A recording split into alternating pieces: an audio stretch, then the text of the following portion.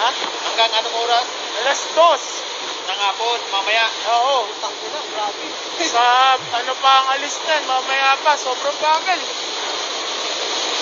Yan ang tapon niya alas dos.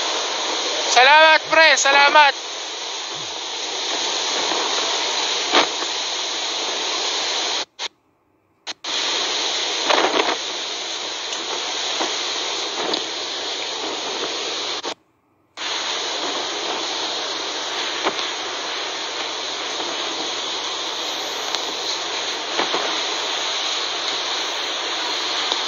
Kaya kita ka na sa mga bagyo.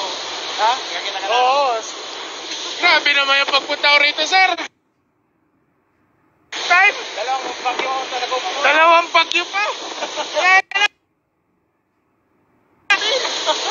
Wala na akong turuan dito, mga...